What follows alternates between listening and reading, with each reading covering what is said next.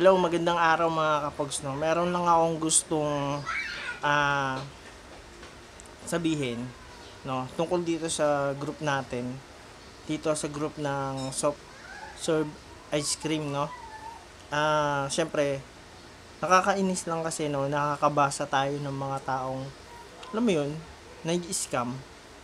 Ang daming scammer dito sa ano sa sa group na to, lalo na dito sa business na soft serve ice cream no.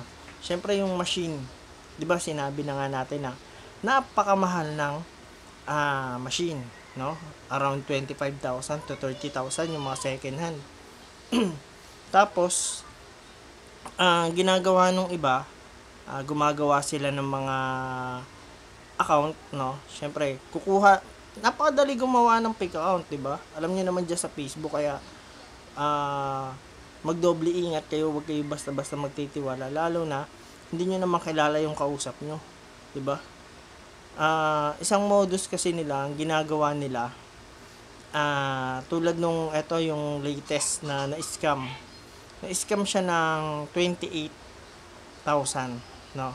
So, ang parang ang ang nangyari dito, ang kanilang usapan is ah, magda-down siya then i-deliver sa kanya yung yung machine.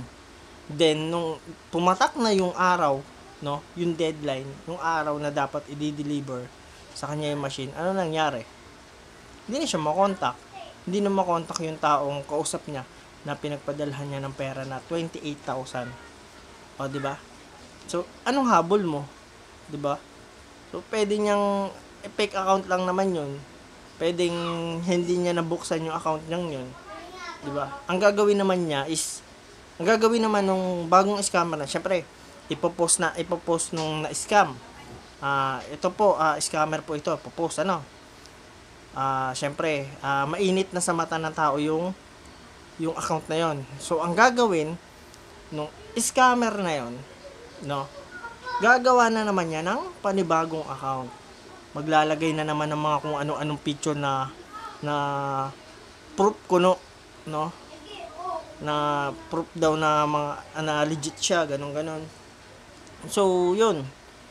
Ah, sa tingin ko, wala namang walang installment. Wala akong nakikitang installment na legit, legit na ins, nag-installment ng ice cream machine. Ayun lang yung napansin ko, wala. So, huwag kayong magtitiwala na magda-down payment kayo, no? Lalo 20 28,000 or kahit 1,000 pa yan, 500 piso pa yan. Mag uh, alukin ka ng oh, mag-down ka sa akin ng 500 pesos, 1,000 pesos o mas malaki pa, tulad ng 28,000. So, 'di ba? Wala kang habol diyan pag na-scam ka niyan, hindi mo naman kilala o sino ba talaga yung taong kausap mo. 'Di ba? Meron nga akong isang vlog dito. so meron nga akong isang vlog dito, pero iba same same siya ng ano, same siya ng modus. Pero iba, hindi siya sa hindi siya sa ice cream machine. So package naman siya. So may nagpa uh, ang kumontak sa kumont kinontak yung yung tatay ko. So ano siya, ah, parang kinuha yung loob niya. Then magpapadala daw siya ng package. Then nung dumating yung ano, dumating yung time na nandito na daw sa Pilipinas yung package. So may tumawag sa kanya. So may tumawag sa kanya. Then ang ginawa is pero mo kailangan namin magbayad ng 15,000 para lang makuha yung package. So, doon pa lang, 'di ba? scam na. So, laging ganun, scam, scam kapag uh, nangihingi agad o may involved agad na pera. No? Uh, siguro mas safe yan yung uh, pag ano, cash on delivery. So, yun. Safe yun. Then, tulad nung ano, tulad nung nung iba dyan, no? Depende kasi sa transact nyo kung paano yung uh, magiging proseso kung paano padadala sa'yo yung item. So, pwedeng lalamove, di ba? Or, uh, hindi ko alam kung ano, kasi ganun yung sa amin eh. Uh, lalamove yung ito yung ice cream machine ko. So pinadala niya sa akin muna. No? Wala akong binayaran, wala akong binigay na kahit piso. So ang talagang ano lang doon is tiwala. Tiwala. Nagtiwala yung may-ari. Yun. And syempre ako, nagtiwala din ako. Then, pero, sa side ko, meron pa rin akong pagdududa. Pero, yun, eh, ayos naman. So, ayun lang, ah, paalala lang sa mga gust mga baguhan, sa mga bagong gustong ah, bumili o mag ah, ice cream, mag soft serve ice cream business, no? Ah, yung may mga nag-aalok sa inyo diyan na installment, hihingi ng pera, down payment. Magduda po kayo, scam po 'yan. Huwag na wag po kayo magtitiwala sa ganyan. Ah, mas maigi kung puntahan nyo. Halimbawa, may nag-alok sa inyo, puntahan nyo na lang, tingnan nyo. Ah, magsama kayo o may, may kakalala kayong technician, pa-check nyo muna yung, ah, yung bibilhin nyo. So, yun yung mga safe safe na paraan para ah, hindi kayo may scam.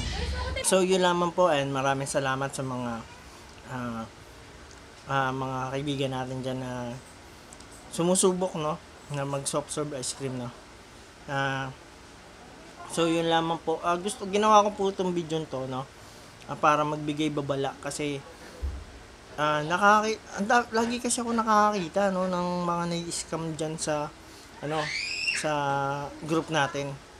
Tapos ah isa pa pala ah, bago ko tapusin tong video to. Yung mga picture, mga picture ng ah ice cream machine na binebenta uh, yung mga dineliver nila no? Ah unang-una wag po muna kayo basta-basta magtitiwala. Lalo na pag may mga bura-bura. No tulad nung mayroon ako na nakita dati dito na legit legit na seller. Ito si legit na seller kinuha nung scammer yung mga picture. Tinabunan niya yung pangalan. So yun. So ang masisira yung legit na seller so may impact yung kasi sa kanya yung picture, di ba? So, yun. Kinakapi lang nila yung mga picture na yun. So, yun lamang po. And maraming salamat. And kung and please uh, subscribe my YouTube channel kung hindi ka pa nakasubscribe. Yan, paki-click mo na yan, yung nasa baba, yung red button. Maraming salamat. Malapit na po tayo mag uh, 1,000 subscriber. Thank you. God bless. Peace out.